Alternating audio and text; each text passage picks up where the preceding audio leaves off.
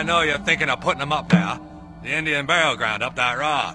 You're thinking if you bury his body there, it will come back to life. Sometimes dead is better. If I dig up my son's body and rebury him at the old Indian burial ground, then I... Don't do it, Sarge.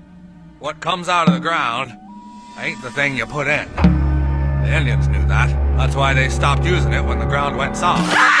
Oh my god!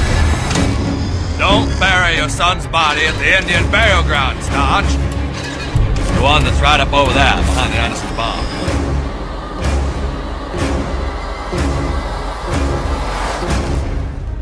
Sometimes, dead is better.